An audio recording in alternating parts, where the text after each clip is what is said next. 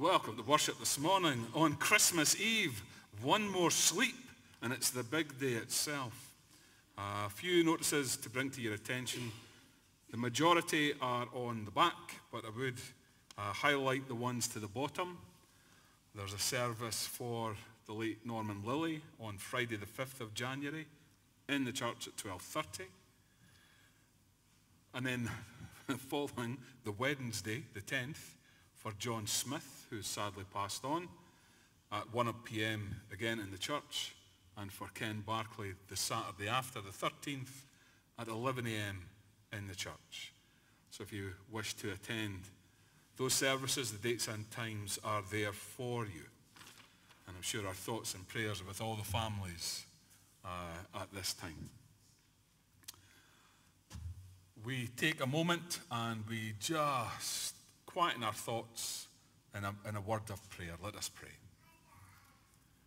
Gracious and loving God, as we come together to bring our excitement about Christmas, our expectations of Christmas, all together in this gathering of your family, we pray that you would whisper into our ears and our hearts the deep truth of what Christmas means what you have accomplished for us and what you will see through to its full resolution. So take our words, take our songs, take our prayers, take our thinking, and make it all an offering to you, giving you the glory in all things through Christ our Lord. Amen. We sing our first hymn or carol. It came upon the midnight clear, that glorious song of old.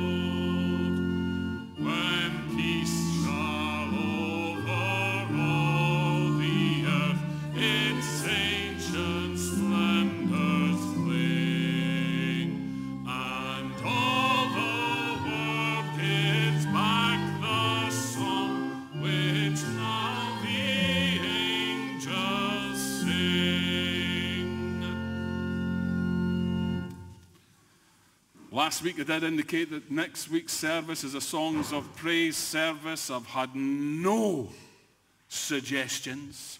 So you're going to get Bethany's hit list. So that's up to you. If you want your hymn included, you need to let us know and we'll do our best to include it. If not, you get somebody else's favourite. We start our Advent journey for today. This is fourth Sunday of Advent, so we need to light four candles. So I need four volunteers, four little pits, Theo and Tilly, Johannes, Anna, you coming? That's one, two, three, four. One, two, three, four. Yeah, got everybody? Cool, up you come. We're going to need the chair. We're going to need the chair. Uh, right. For those who can't quite reach as tall as that. And we need to find a match. Right, get yourselves in order. Who's going first? Everybody.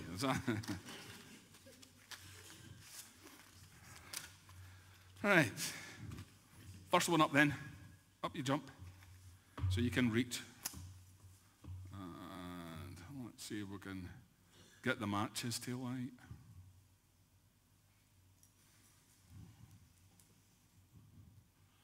Right, one of the red ones, please. Well done.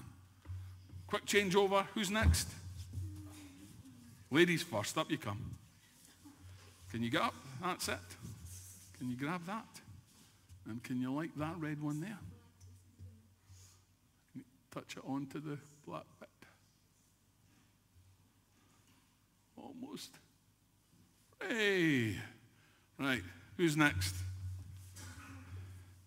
Let your sister go first. Come on, you coming up? I might need to give you a help because it's round this corner. Mum will going to help. That's fine. Right. Mum's going to help you up. that one. Yeah.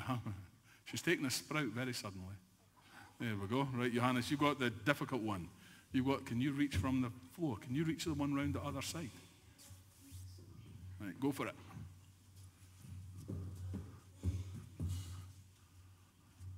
I bet this one's going to be tricksy.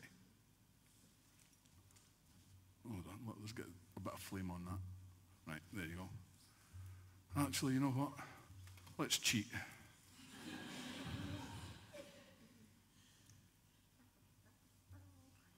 no, almost. It's okay, we'll get that. Almost. Oh, almost please, the light. There we go. Might not look it, but it is actually lit. Hey, blow that one out before it burns your fingers. There we go. Thank you very much. Well done. Good job. That's all our candles lit. It, it, honestly, it is lit. It's just not a flame. I'll get there. So one more light to light, and we will light that tomorrow for those who are coming for the half past ten Christmas Day service. Or you can come for the 6 o'clock Christingle service. Or the 11 o'clock watch night service. We're here all day. Right. Question. Which present would you prefer? That one or that one? The big one. The big one? Big one? The great big one? Hmm. What if in the great big one was just foam? And a tiny little present? And what if in the little one there was something very expensive? Hmm. But we don't know, do we? Because we can't see into them. We get excited by the size of a present without really knowing what's in the present. Sorry, Sorry, director. You want me to reposition myself? Okay, I'll stand here, will I?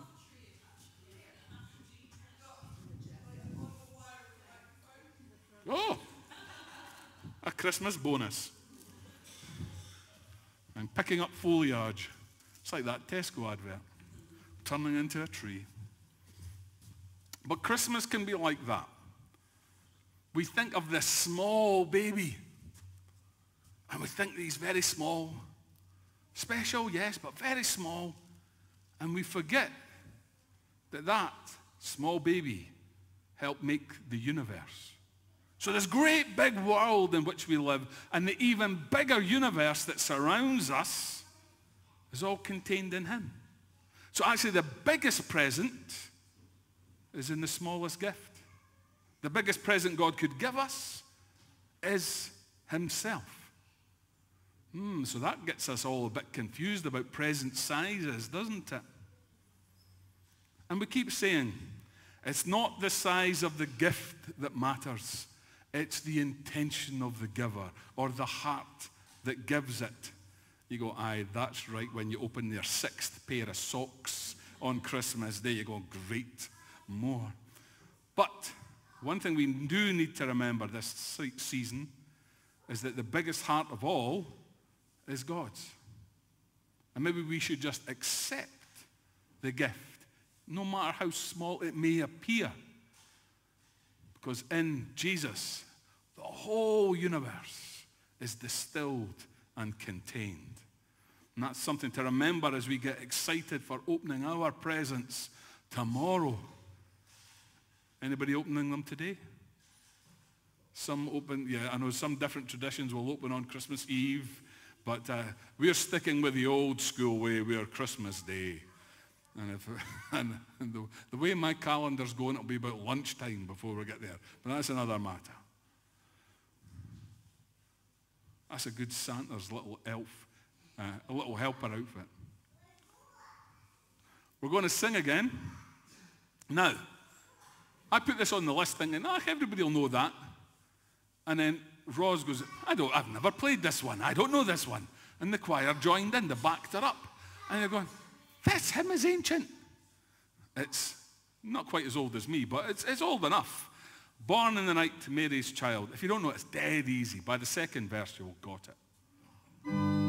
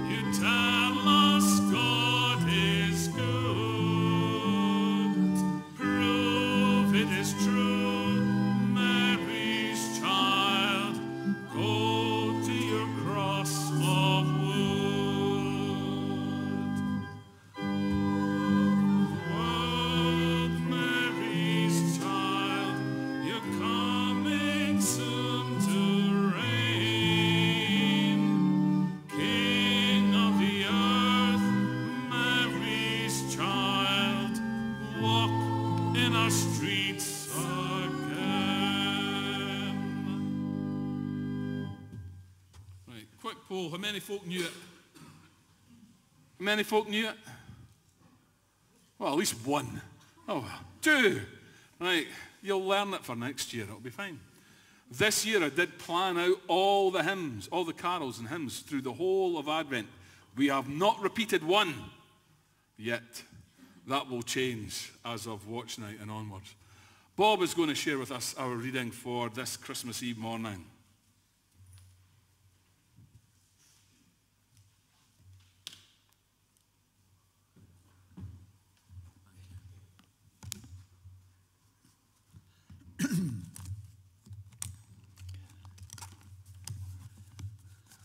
This reading is more or less uh, the last page in the Bible. Jesus is coming. Behold, I am coming soon. Blessed is he who keeps the words of the prophecy in this book. John, I, John, am the one who heard and saw these things. And when I had heard and seen them, I fell down to worship at the feet of the angel who had been showing them to me. But he said to me, Do not do it. I am a fellow servant with you and your brothers the prophets, and of all who keep the words of this book. Worship God. Then he told me, Do not seal up the words of the prophecy of this book, because the time is near. Let him who does wrong continue to do wrong. Let him who is vile continue to be vile. Let him who does right continue to do right. And let him who is holy continue to be holy. Behold, I am coming soon. My reward is with me, and I will give to everyone according to what he has done. I am the Alpha and the Omega, the first and the last, the beginning and the end. Blessed are those who wash their robes, that they may have the right to the tree of life and may go through the gates into the city. Outside are the dogs, those who practice magic arts, the sexually immoral, the murderers, the idolaters, and everyone who loves and practices falsehood. I, Jesus, have sent my angel to give you this testimony for the churches. I am the root and the offspring of David and the bright morning star. The Spirit and the bride say, Come, and let him who hears say, Come. Whoever is thirsty, let him come. And whoever wishes, let him take the free gift of the water of life. Thanks be to God. You. We sing again in the bleak midwinter. There's a warning. This is the full five verse version. Verse 3 can be tricksy to fit in, so just be careful. In the bleak midwinter.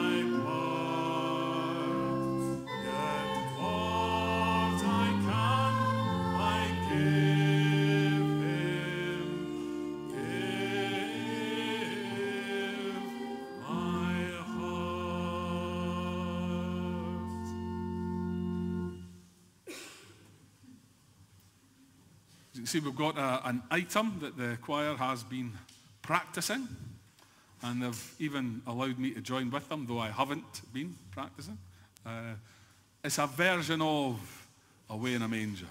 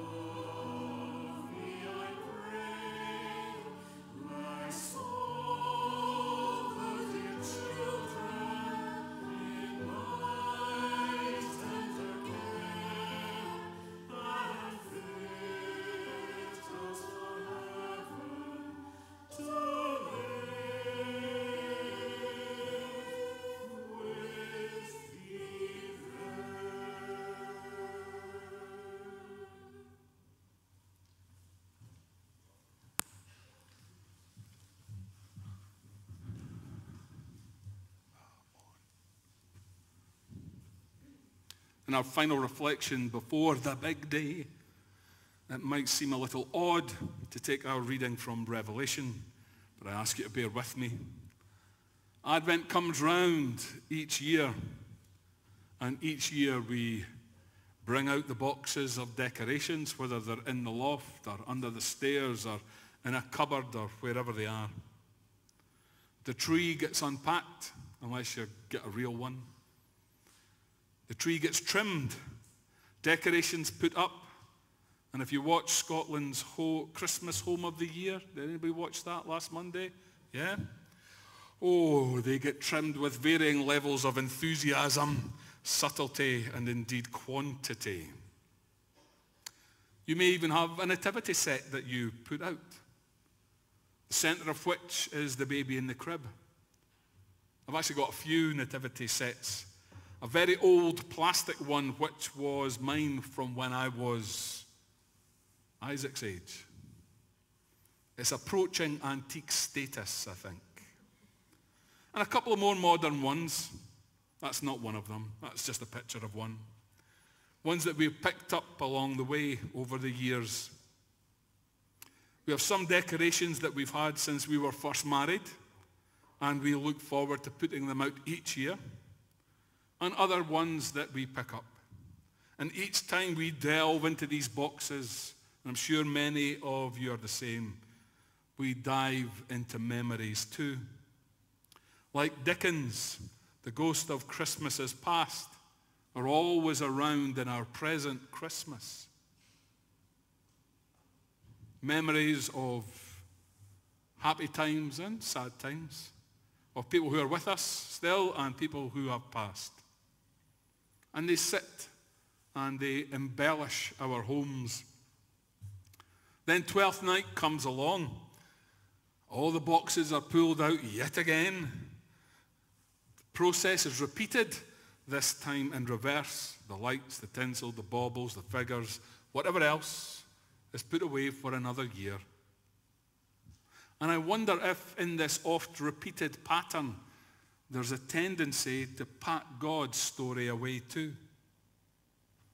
The Jesus of our Advent never gets a chance to grow up. Oh, I know we engage with the man at Easter, but we tend to package up God's work into these little neat, tidy clusters. And in our nativity, in our Advent, God is always the babe in arms. And we extract these stories, we extract these elements into single, stand-alone points rather than remind ourselves that they sit firmly within this bigger story, this bigger narrative that starts in Genesis and doesn't end until Revelation. Christmas wasn't the end of something. It was just the start of something different. Our theme has been Advent journeys this year. Yet the presumption is that the journey ends at Bethlehem. We've got there. That's it done. We've arrived. But the story goes beyond that. The journey never ends. For Mary and Joseph, there was the flight to Egypt, then the return home, then watching Jesus grow up and begin his ministry, then in the Garden of Gethsemane, the trial, the execution, the resurrection. But even then, the story has not ended. It is not done. There is one glorious moment still to come. His return. The full consummation of God's salvation plan. When he is completely reunited with the whole of his creation. Evil and sin defeated absolutely, comprehensively, finally and eternally all of creation restored to its glorious form and purpose. All the promises and the prophecies giving their completion, completed fully as we reunite in God. Transient, fail human bodies traded for eternal ones all of this set in motion from that first Christmas. So why a baby? I think in some ways to make God manageable for us. We can hold a baby. We may have had our fingers or a finger of our hand gripped by those tiny fingers those little hands. We may have gazed into those eyes so new and drinking in the whole world around them. In Christ, the babe of Bethlehem is the creator God. As his parent held him, they held the maker of all things in their embrace.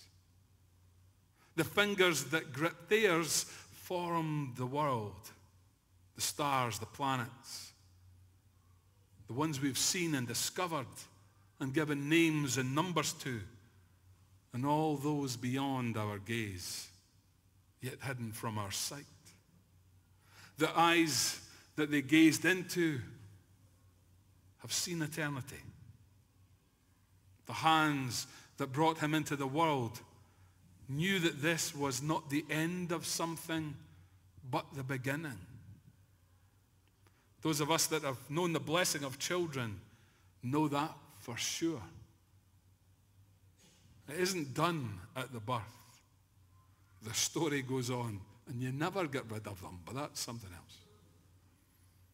The next intervention in the world will not be the quiet, humble birth of a child, but the triumphant breaking through of a God King, a sovereign mounted on a war horse in victory and glory, where those still living join him in the air and combined with the, the, the hosts that have gone before. In a moment, all things transformed completely. The first Christmas, he became us. Small, limited, frail, vulnerable, like us. But on a scale we can connect with and can relate to. On the return, we become like him. We are transformed into him. We become eternal, complete, and whole. And only then does the journey end. But even then it doesn't. Because we have all eternity to worship and praise him.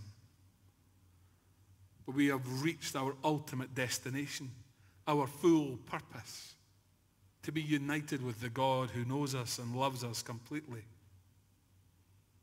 The Nativity is the promise of future glory and fulfillment. This Christmas, I pray you have a wonderful time, whether it's with family or friends, or even if it's on your own. Maybe a time of rich blessing and the assurance that God is with you.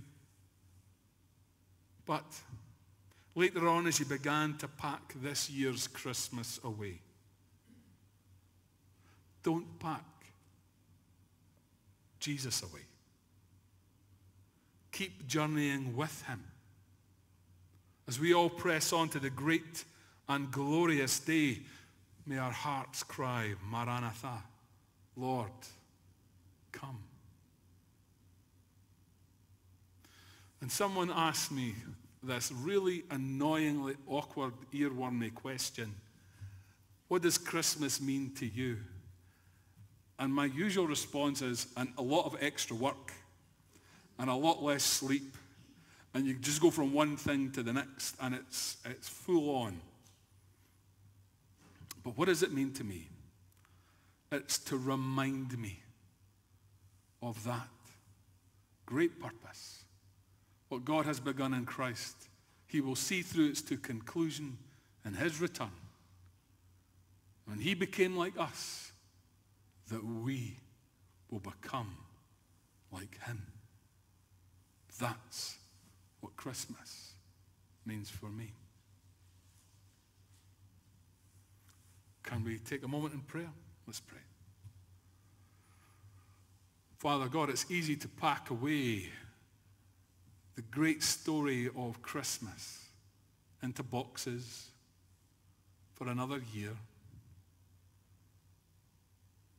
Lord, we pray that we retain Christ in our hearts and not to pack him away, not to move on to the next story, but to just journey with him in our lives.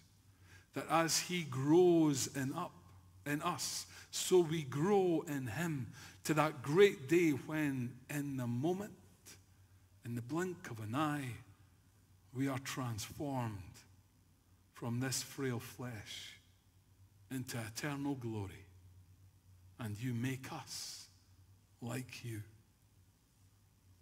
So Lord, Maranatha, Lord, come. Amen.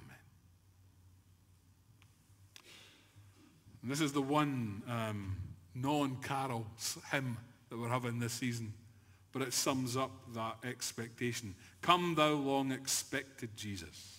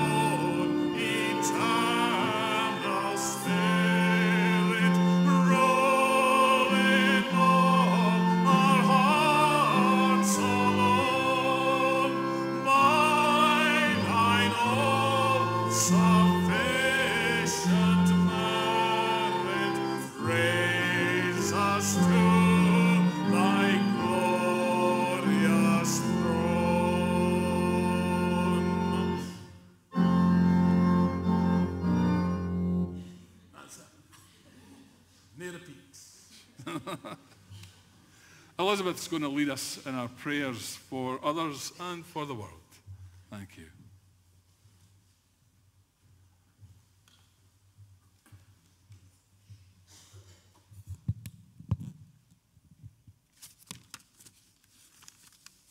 Let us pray. Loving Father, at this time of the year, as we look forward to celebrating the birth of your Son and singing the words the angels sang to the shepherds, Glory to God in the highest, and on earth peace to all men on whom his favour rests. Then we turn on the television and there's news of wars between Palestine and Israel, Ukraine and Russia, trouble in Sudan. There seems unrest everywhere. There is no celebration this year of Jesus' birth at Bethlehem. Dear Father, draw close to us today as we pray for peace in parts of the world torn apart by war and injustice. We pray for peace in the hearts of those who have it in their power to bring change and reconciliation.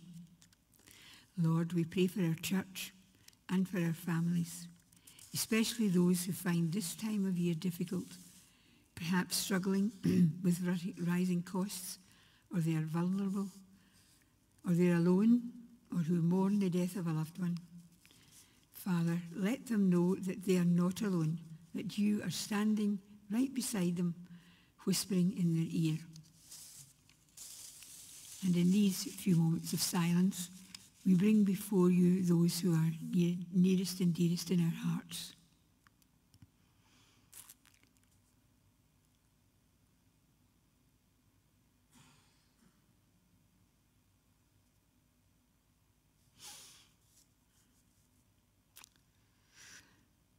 Lord, Lord, at this time of the year we become distracted with presents, decorating trees, cards, etc. In fact, everything that has nothing to do with the real reason for Christmas. Forgive us, Lord, for paying more attention to the frivolities that we see that sound that surround us at Christmas, instead of celebrating the gift of your Son. Help us to find new ways of sharing our faith with a world so greatly in need of your message. And as we leave this place of worship today, fill us with your spirit, strengthen our trust in you today, this Christmas, over the coming year, and always. Fill us, Lord, with your joy and thank you for all the blessings that you have given us. And we will close, Lord, with the prayer that you taught us.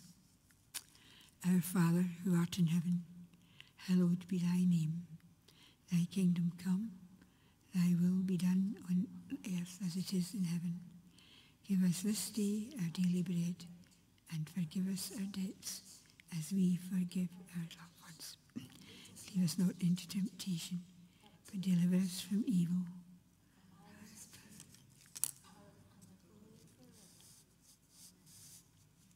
Amen.